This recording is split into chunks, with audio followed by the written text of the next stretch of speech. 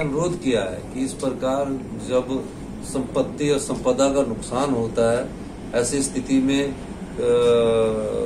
केंद्र सरकार से हमने अनुरोध किया कि हमें इसकी सहायता, राष्ट्रीय आपदा घोषित किया जाए और इस प्रकार, ताकि हमें उसमें सहायता में कोई कमी ना रहे। इस मामले को मैंने भारतीय जनता पार्टी के जो राष्ट्रीय अध्यक्ष जगत प्रकाश नड्डा जी से, उनसे भी मैंने इस मामले में बात की।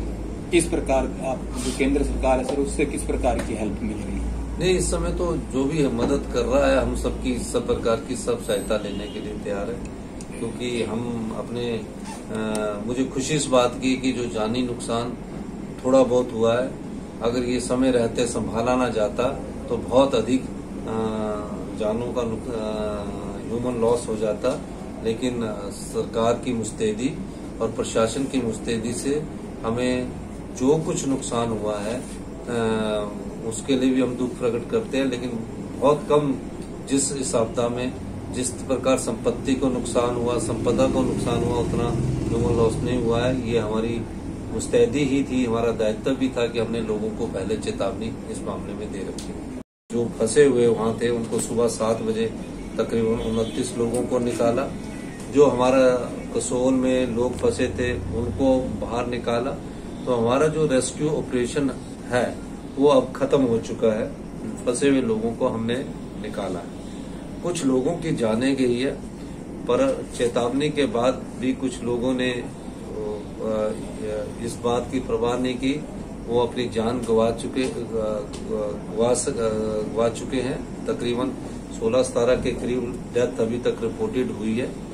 और, पर जितनी बड़ी तबाही होनी थी, वो उतनी बड़ी तबाही ह्यूमन लॉस की या जाने जाने की थी, उसको वो बहुत कम हुई है, लेकिन दूसरा बहुत ज़्यादा नुकसान हुआ है।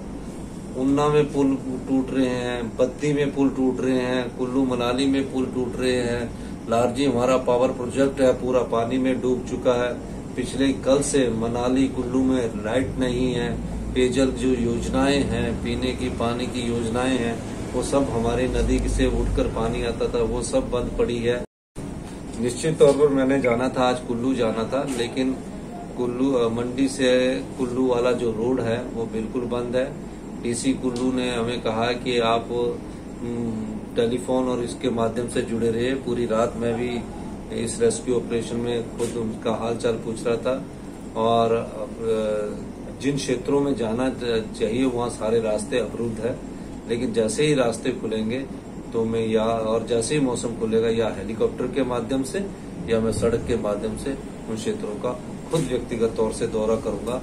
लेकिन वीसी के माध्यम से मुझे उन्होंने सभी सिचुएशन भेजी व्हाट्सएप के माध्यम से वीडियो भेजे। तो अंदाज़ा ये लगाया जा सकता कि जिस प्रकार का कहर इस बार बरपा है, ऐसा पचास साल में पहले कहर नहीं बरपा था।